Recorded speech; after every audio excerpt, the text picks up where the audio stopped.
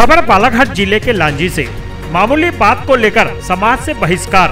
हम आपको आज एक ऐसे मामले से रूबरू करवा रहे हैं जहाँ गाँव में एक व्यक्ति को केवल अपने समाज की मीटिंग में नहीं आने के कारण समाज से बहिष्कृत किया जा रहा है जिससे उक्त व्यक्ति मानसिक एवं शारीरिक रूप से अपने आप को प्रताड़ित महसूस कर रहा है। ग्राम कोसमारा का निवासी हूँ थाना लांजी है। किस मामले को लेकर आज मैं एक साल हो गया करीब यानी मेरे को समाज से बहिष्कार कर दिया गया है। समाज के लोग एक मीटिंग में जाने से मुझे पचास हज़ार की राशि जुर्माना कहते हैं। मैं दे नहीं सक रहा मैं गरीब आदमी हूँ, दस परिवार अपने चला रहा हूँ। और ये गाँव में कई हरकतें करते हैं कि ये कभी मर भी गया, जल करके। उस जलने वाली रात को भी इनने रथा वथा कर डाला कि उसका क्या हुआ? मैं पूछने के लिए घर में गया तो मुझे धक्का मार के निकाला दिया गया। कि साले तो पूछने वाला कौन है? समाज से बहिष्कार, इस माफिक से मुझे बोला गया। क्यों आपको समाज से बहिष्कार किया गया? मैं एक मीटिंग लॉकडाउन के चलते मैं एक मीटिंग समाज की नहीं जाने के कारण मुझे अ, समाज से बहिष्कार किया गया और पहले बीस हज़ार रुपया बोलते थे लेकिन आज के पोजीशन में तू हमारे को पहले शिकायत किया आठ महीने के पहले। अब तेरे को पचास हज़ार देना पड़ेगा साले तब तू हमारे पास बैठ उठ।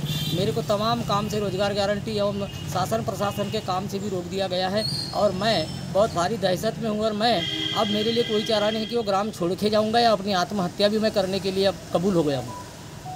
क्या नाम आपका? मेरा नाम सालिग्राम पारदी कोसमार है खाप पंचायतों की तरह, यह तुगल की फरमान का मामला बालाघाट ज़िले की लांजी तहसील के ग्राम कोसमारा का है, जहाँ लांजी के कोसमारा निवासी सालिकराम पिता फत्तूलाल पारधी उम्र चौवन वर्ष जाति पवार कोसमारा निवासी ने बताया कि वह अपने गाँव में खेती किसानी का कार्य करता है।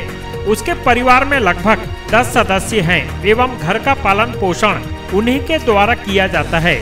उनके ग्राम में पवार समाज के अलावा अन्य समाज के लोगों के साथ भी उनका समान व्यवहार है। तथा सभी जाति धर्म के लोगों के साथ खान पान से संबंध रखने के कारण उसके समाज के ही कुछ लोग दुर्भावना रखते हैं।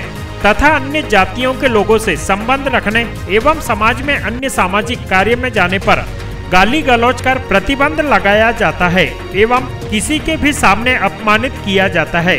पीड़ित ने बताया कि मुझसे कहा जाता है कि पचास हज़ार का जुर्माना भरने पर तुझे समाज में आने जाने दिया जाएगा। अभी वर्तमान में मुझे रोज़गार गारंटी योजना व मेरे घर आने जाने वाले नाई धोबी तथा मेरे जानवरों को भी पानी पीने से रोका जाता है। लगातार आठ दस महीनों से प्रताड़ित कर मेरे मूल अधिकारों का हनन किया जा रहा है। जहाँ पीड़ित ने दोषियों पर कार्रवाई करते हुए समाज में समान अधिकार दिलाने के लिए पुलिस अधीक्षक से गुहार लगाई है। खबर भारत न्यूज़ के लिए लांजी से पवन कश्यप की रिपोर्ट। हमारे चैनल से जुड़े रहने के लिए खबर भारत न्यूज़ को सब्सक्राइब करें।